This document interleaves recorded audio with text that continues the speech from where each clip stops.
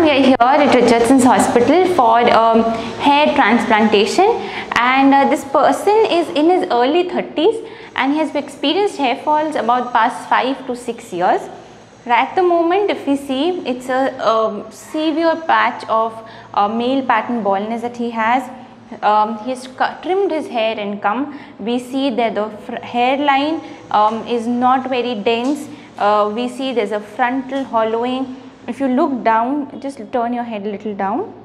Yes so we see it's gone right up till the vertex and even up marginally up till the occipital.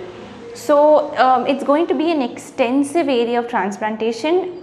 You've told him that he might need um, two sessions for the same. First session will take maximum possible grafts from the donor area and focus on the frontal the hairline as much as possible and up till the vertex Second session he has to come back for another one which is the vertex and the posterior part. He has tried the conservative method be it a spray, be it some oral medications but nothing has given him results.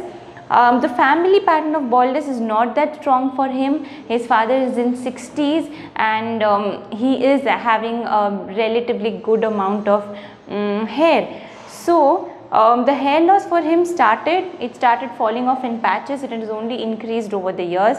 He should have sought um, surgical treatment at the right time which was years before um, but he's come to us now. So we'll proceeding with the hair transplantation, we'll do all the markings and um, then we'll proceed with this FUE technique which is follicular unit extraction.